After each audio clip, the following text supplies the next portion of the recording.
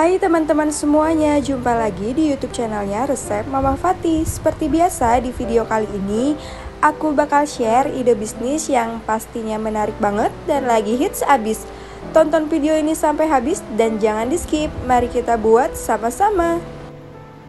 Maka pertama kita siapkan cobeknya. Kemudian kita ulek 5 siung bawang putih, lalu tambahkan setengah sendok teh garam, Lalu kita ulek bawang putihnya sampai benar-benar halus. Nah, kira-kira hingga tekstur bawang putihnya sudah halus seperti ini. Ini sudah selesai, teman-teman. Seperti ini detailnya. Selanjutnya kita sisihkan terlebih dahulu.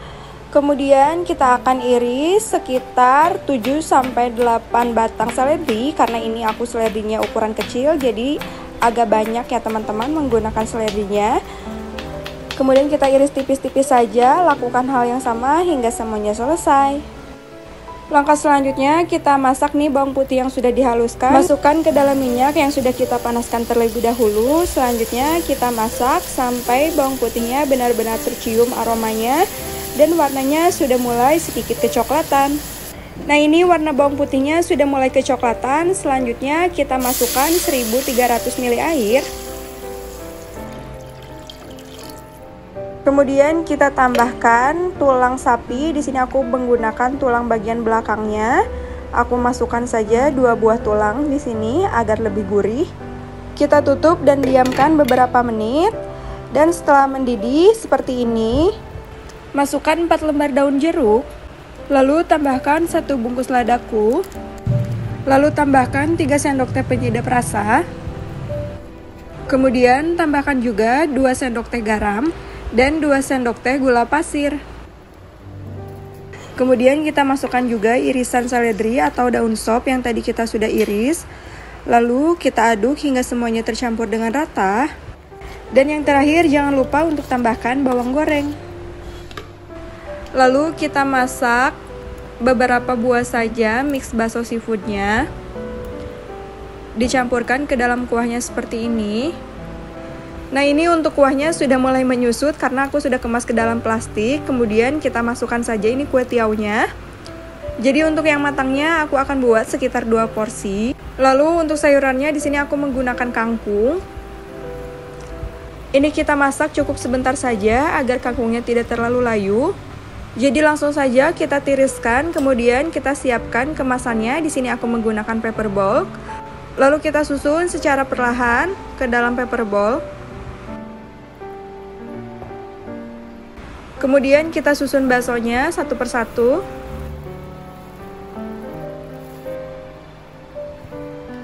Lalu kita tambahkan irisan jeruk.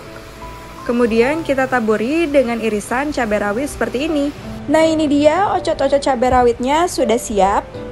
Nah selanjutnya aku akan buat juga untuk versi take away-nya. Jadi kita masukkan kuahnya yang sudah kita kemas ke dalam plastik seperti ini. Kemudian kita susun ke dalam paper bowl. Lalu kita susun kue tiaunya di bagian atasnya seperti ini. Lalu kita susun kangkungnya. Untuk caranya bisa dilakukan seperti di video ya teman-teman. Kemudian kita susun baksonya seperti ini.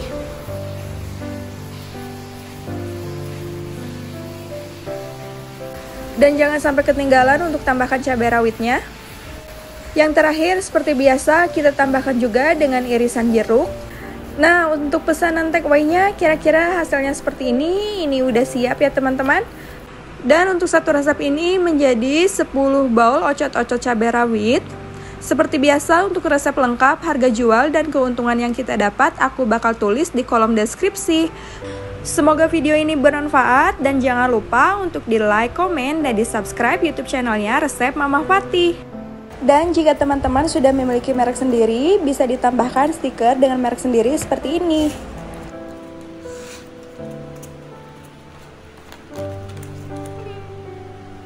Sebelum undur diri, mari kita coba dulu ocot-ocot cabai rawitnya masakan kita hari ini.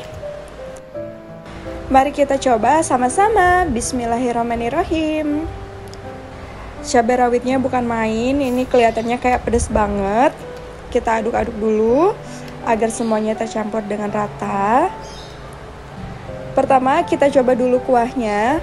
Kuahnya ini benar-benar kental banget karena tadi pakai tulang sapi, rasanya gurih banget, pedesnya nampol banget, pas banget lagi di luar lagi hujan makan beginian emang paling mantep.